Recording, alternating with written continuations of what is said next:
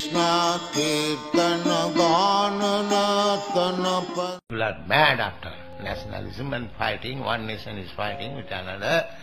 These rascals do not know that why they are fighting. The land belongs to God. So when people become Krishna conscious, this nonsense fighting will stop. Otherwise there is no possibility.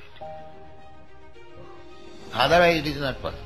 They are trying to stop fighting by the so-called League of Nations or uh, United Nations. They are disunited.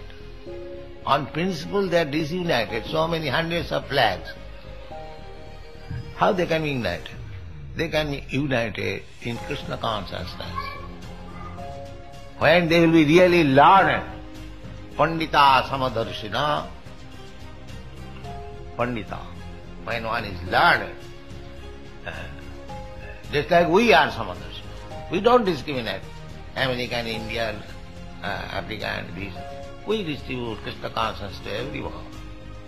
Because we know everyone is part and parcel of Krishna. Everyone is son of Krishna.